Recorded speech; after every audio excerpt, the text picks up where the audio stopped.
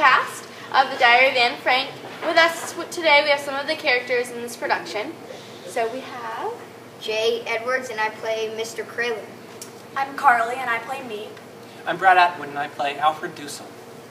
So we're going to ask them a simple question. So what do you guys most enjoy about this play?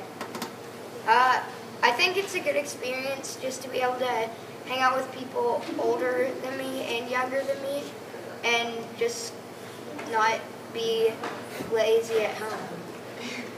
Well, I just love coming to rehearsal and meeting new people that I probably never would have met before. Um, having given it, given it some thought, and, um, you know, obviously this is something that just keeps me busy. If, if I weren't doing this, I'd be sleeping, and that wouldn't be any good, would it? So, there's also meeting people, and that's, that's something good, always. And it's being on the stage, that's awesome. Yeah. Well, this is our segment of Meet the Cast. Thank you.